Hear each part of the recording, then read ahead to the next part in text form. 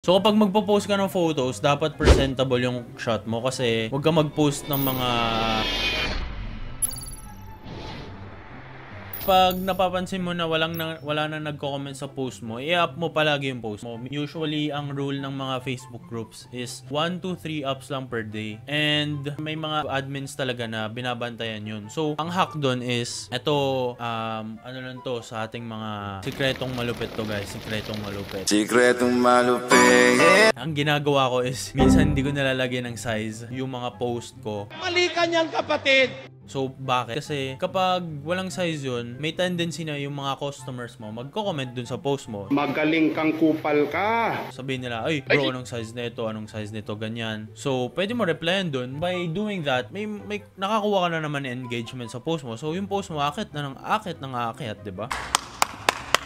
Okay, so ang number one ko na tip para sa video na to, i-aim mo palagi na makipag-trade sa mga customer, sa mga bu- buyer mo para yung takbo ng shoes mo is hindi lang natapos sa cash, di ba? Kapag nakipag-trade ka kasi palagi kang lamang dapat. So kung bakit palagi kang lamang dapat, gagawa ng another video para dyan. Usually kasi di ba sinasabi ng mga reseller na trade in my favor. Kung bakit, explain ko sa inyo next video. I mean, or sa, sa mga susunod na video, gagawa ko ng bago. Kung bakit ganun. And hindi naman mali yun kasi ga- ganun talaga kasi talaga kapag um, dapat lamang talaga yung seller. Palagi mong i-aim na pakikipag-trade para hindi natatapos yung, alam mo yun, yung takbo ng pera mo. I mean, takbo ng shoes mo. What?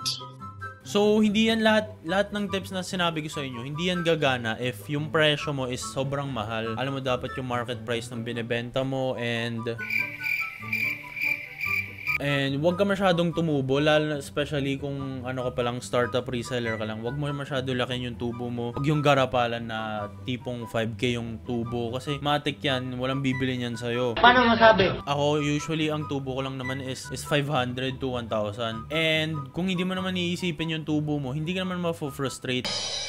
Actually, malaki na yung 1,000, 1,000 to 2,000 na tubo. Malaki na yun para sa startup. So, presyong saktuhan lang. Yung tipong, ang mahalaga kasi dito is ano eh, explain ko sa'yo. Ang mahalaga dito, umiikot yung pera mo. Kasi kapag nag, nag-resell ka ng sapatos, usually nangyayari kapag sobrang mahal ng mga, may mga kilala akong seller na kapag sobrang taas ng presyo nila, yung sapatos nila, nasa stock sa kanila. Eh, knowing na yung sapatos mo is, um, like, for 4 years old na or 5 years old, ano na yan, uh, prone to crumbling na yan, prone to soul sep. So, mas okay yung umiikot yung pera mo kaysa nagsasta ka ng sapatos, di ba? So, yun yung mga tips na shinare ko sa inyo. Sana makatulong yan. And for sure, may mga ilan-ilan dyan kayo na pick up. Siguro yung iba alam nyo na. Pero sana naka, may na-share ako sa inyong bago. And if may mga gusto pa kayong malaman about sa reselling, comment nyo lang sa baba or kung saan nyo man gusto i-comment. So, yun guys, sana may natutunan kayo. And, and, and, and magkita-kita tayo sa taas.